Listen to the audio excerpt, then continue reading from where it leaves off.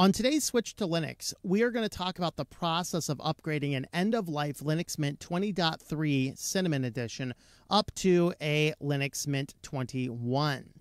Now, this is a bigger upgrade than simply going a 21.1 to a 21.2, which is usually found in the update manager. And I believe it's under the edit, and there will be an extra option that tells you to upgrade. In this case, this is a major upgrade. We're changing the entire Ubuntu package base, and you do need to make sure that everything is uh, is set and running. Now, the average user might want to have snapshots set up. I personally don't use Timeshift and snapshots. So um, I'm going to advise you if you're new to Linux to do that. I'm going to skip that particular step here just because I don't usually use them. I have all of my data backed up on this computer. If there happens to be a failure, well, I'll just go ahead and reinstall Linux and dump everything back on, and that will not be a problem for me. I also have fairly high confidence that this update is going to work. But hey, you never know. This is an operating system that has already jumped two system, uh, two different uh, hard disks, and an entirely different piece of hardware. So you never know. This started with a Linux Mint on a Dell on an i5, uh, I think 5300U on a spinning Rust. We upgraded it to a uh, to a, um, a Maxtor internal drive, and then we upgraded it from that to an SSD, and then we migrated it over to an MSI i7 computer. It's on now. Hey, this Linux Mint install has been around for a while. Let's just go ahead and see how long I can keep her going. now, um, a couple steps you're going to want to do first make sure everything is up to date. And i came in here and i updated everything there and i even came into flatpak and i made sure everything was up to date under flatpak. Um oh of course there's new updates to flatpak. I only did that 10 minutes ago. Thanks flat arch anyway that's done okay, Flatpaks are now up to date again. The next thing you're going to want to do is have a look over at your software sources. So the software sources tells your computer where the software repositories are coming from. You can see here I'm pulling my Ubuntu base from Princeton. I'm pulling my main from Linux Mint. Now, you also have to check PPAs and other repositories. I usually run the PPA for KeePassXC. This allows me to have the latest version of KeePass. Uh, even the last I knew, I think the versions even in Ubuntu now do not support passkeys. So I run the PPA to have the absolute latest KeePassXC since it's such an integral part of what I do. You might also check other repositories. There shouldn't be really anything else in any of these that you need to do. So just be aware, I went ahead and turned off that PPA and pushed that software package back to where it is. Now, the next thing you're going to need is you're going to need a package. You can install it from the Software Center, but you have to search for it. It's the same way. The package is called Mint Upgrade. So you would do a sudo apt install mint upgrade. Now, I already have this installed. So as I go to install this, it's going to tell me I already have the latest version. So this has to be run as sudo. So I'm going to do a sudo mint upgrade. And this is going to walk us through the steps that we need to do to run our Linux Mint. So what we're going to do here, we're going to press let's go. And before we start, I'm going to click on this hamburger menu up to preferences. By default, it does require you to have a Timeshift snapshot. I'm going to turn that off in my instance. I would advise a newer Linux user to keep that turned on. That is the Timeshift application over here, which allows you to run a full system restore point. So if there happens to be a uh, one of these old restore points, there's an error in this, it will allow you to restore the system. In my case, I'm not going to run that personally. Um, that will not change how this works other than the fact you can turn it off. And I like that option because in my case if I have a problem with this I'll just reinstall it. I'm not losing anything. I will emphasize once again do not proceed until you have a backup of everything on your computer. And I do. So that's what we're going to do here You can look at applied software updates. You can look at supported Linux Mint versions. So we're going to keep everything else there. And it looks like I actually closed my application. So let's just go ahead and run that again. All right, so let's go. We're going to start our preparation, and this is going to run an apt cache in the background. This is going to test that everything is going to be working. It's right now, it's testing everything on the current Ubuntu version, and then it's going to do a simulated test of what it's going to look like upgrading to the next package base, which is going to move. Uh, in this case, from an older Ubuntu LTS to a newer Ubuntu LTS. So we will see what this looks like. Now, I will also say at the outset that uh, this process will potentially take several hours. It needs to get a lot of software and it needs to do a lot of other checks and things like that. So plan yourself some time, but it's not like you all have to sit in front of the computer. Obviously, this video is not hours and hours long because I'm skipping all of the waits. All right, so here the, you can see that the KeePass version, the official version is 2.4. I have installed version 2.7, and uh, that's because we had that PPA. I thought that was downgraded, but apparently it is not. So I'm going to hit the fix option, and this will go back and restore back to the older version of KeePassXC which it needs to do in order to upgrade it. Of course, as a final step, I will come in here, I will turn that PPA back on for KeePassXC, and I will then proceed to um, I will then proceed to upgrade and get the latest version again. Here are various orphan packages. So all of these various orphan packages, um, here are the things that are in this list. brscan, this is my brother scanner, which is actually locked in my storage unit. The Epson scanner is the workforce uh, scanner. I've done some videos on that. Uh, and I'm okay if those get removed. And uh, I'm actually the new version of the Mint scan tool actually does a better job. I can, of course, reinstall all those if I need to. These ones here, the HL-L2380DW, these are also for the same brother printer that is attached to that scanner. That's not the printer I have with me. And of course, my OnlyKey software will be removed. And I will have to probably reinstall the OnlyKey software. Uh, but yeah, maybe I'll just go ahead and install it next time we need to do this. So we're going to go ahead and uh, keep these. So let's see, these do not exist in repositories. If you decide to uninstall them, hit check again after their removal, or we could just click OK to continue. So I could stop here. I could uninstall these things. And uh, in this case, I'm not going to we're just going to go ahead and run it. Now it's going to do a simulated download. It's going to now point the repositories and then it's going to run a series of tests. This will be a part that could take a little bit. So it's going to simulation and download. So it's going to uh, change your repository list, or at least it's going to simulate changing them.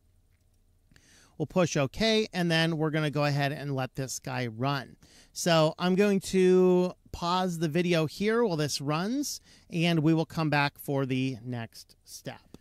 So it has completed the simulation, and it will give us a list of added packages. It's going to give us a list of removed packages. And so the simulation upgrade will be performed following these changes. That we're going to download just about four gigabytes of data. It's going to use about three and a half gigabytes more space and we're going to be deleting 21 packages, adding 485, and upgrading 200, uh, 2,765. We'll go ahead and push OK, and now it's actually going to download these. So this is here where you can, this is going to be a part that's going to take quite a while. Uh, also, depending on your internet speed. Fortunately, I have really good internet speed where I am right here, so uh, it will not take me a long time to download all this, but this is a process that will take some time. So we'll pause the video again here, and then we will come back when this is done. So phase two finished. I wasn't watching the clock, but uh, you can go back and see how long that took. And uh, we are going to click this button. It's going to begin with the next phase, which is upgrading all of the software from what we have just downloaded. So depending on your internet speed, this and the the specs of your system, this could take more or less time. So this being an i7, uh, I'm not sure how long it's going to take. It shouldn't take too too long, but there are a lot of packages. So we'll come back for the next step. So we got down to a point here, and it says there's an, an error. It says zero packages still need to be updated, zero kept, zero deleted. Issue is detected. I'm just kind of looking over what we got here.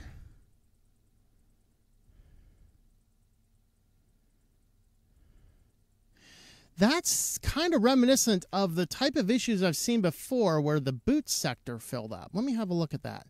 That's it right there. See, free space, zero bytes. Look at that. So we actually had an error because a Linux kernel didn't get itself updated because the boot space ran out that is a that could potentially lead to a devastating system. So I'm going to look at the images I have here. I have a 515, I have a 539. I'm going to see which Linux version I'm currently running. Let's pull up our system info here. I'm running the 515 139. So that is this one here. So there were some old Linux kernels here that uh, weren't removed. So maybe one of those first steps is should be remove some of those first Linux kernels.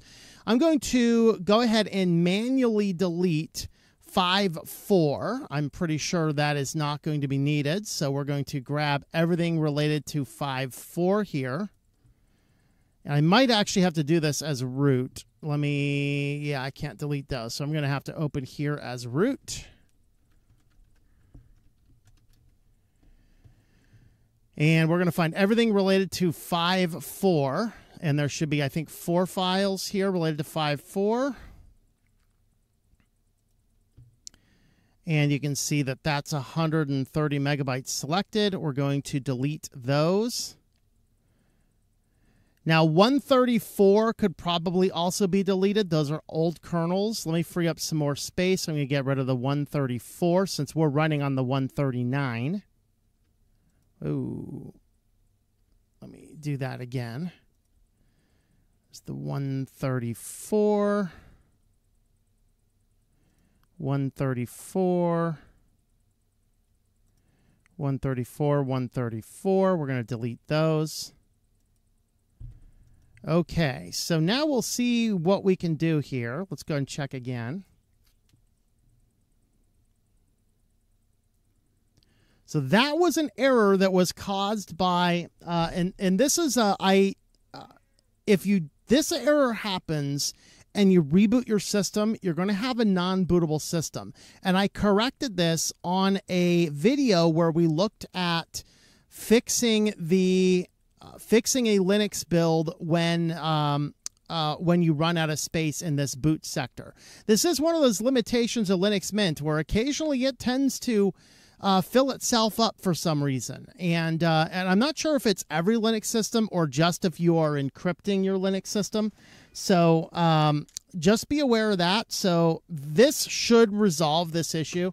So we're going to go ahead and let it go through. It's going to go back to the last check that it worked through, and it's going to hopefully fix itself. So the fix for this would have been uh, maybe something I, I, didn't just didn't even think of it. You should have gone through the in the update manager and go under your Linux kernels and remove all of the Linux kernels that you're not actively using. That's probably what you might want to do. So, doing that, we're just going to come back and see if that resolves it. We're going to let this phase run itself again, and I will be back when we have a next status update to do. All right, so it tells me that the successful has been upgraded. So that's all I did is I just went through and I manually deleted the old kernels that uh, uh, that I knew I wasn't using. You can see that added the new kernel there. And so now we will go ahead and reboot and see if this works. Let's go ahead and uh, give it a whirl. Here we are. We have restarted the computer, and you can see that now we're on Linux Mint 21.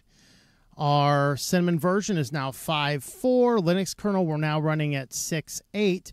Now, I did want to show you here as well that uh, now that we are on Linux Mint 21, this is where you can do a minor upgrade going into the Update Manager tells you your system is up to date, and under the Edit menu, there is now an upgrade to Linux Mint 21.3.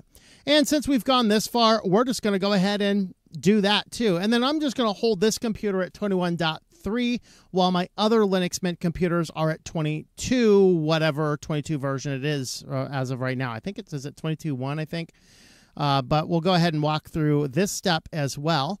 So here's all the release notes, which I have read prior to it. I have already done details, uh, videos about what is new in 21.3. And then here is uh, here's uh, information, you know, just a warning. You understand the potential risks. Once again, we haven't done anything since I pushed the last updates. So we're going to enter our password now. And now it's just going to update everything and move it up to Linux Mint 21.3. All right, so it says changes have been applied. So now we're going to download some more packages. So it's going to download new packages. We're basically have to go through this uh, multiple different times just to get it done. This upgrade from uh, 21.0 to 21.3 is fairly small, so this will not take too long. And it tells us the operating system was successfully updated, so we just need to reboot it. I can see that my icons down here have definitely changed in size. We'll reboot the system and then decide do I want to change any of those or something else. So let's go ahead and just reboot. And we have successfully reinstalled the system up to Linux Mint 21.3. This version, of course, has the Flatpaks can now be updated in the update manager, and uh, of course, um, there's of course there's one. It's been what a whole hour and a half since we did anything with Flatpaks, so you know. Let's also have a look at the kernel information, uh, since that did cause an issue before. So you can see all these are installed. Uh, nothing there, nothing there, nothing there. And I think this one is active. So I am going to mark for removal uh, all of these old ones here from the 515 branch. I'm trying to think. Should I keep that last one? No, we're gonna we're gonna move that as well. So we're going to hit the remove kernels. It's going to remove all of those. And that way we will free up more space. And if i have any other issues with kernels i can go in and add something else back in.